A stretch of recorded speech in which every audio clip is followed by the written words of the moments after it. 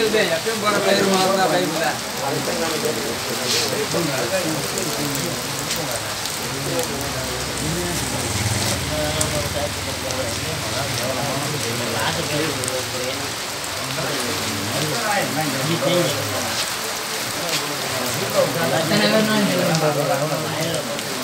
அதாவது வாடகைக்கு